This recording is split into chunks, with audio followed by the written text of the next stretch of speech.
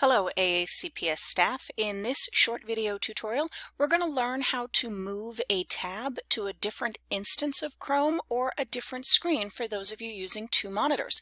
So if you take a look at what is currently being displayed on my desktop, you'll see that over here on the left-hand half of my screen, I have Chrome open to three separate tabs. I've got Discovery Education, Google Classroom, and Google Drive.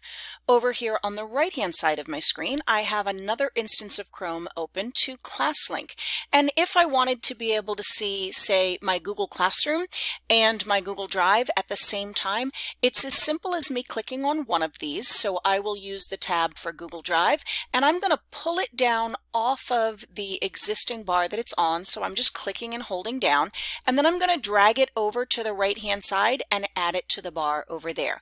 So now I have Google Classroom open up on one screen and Google Drive open up on the other one. And it's as simple as that.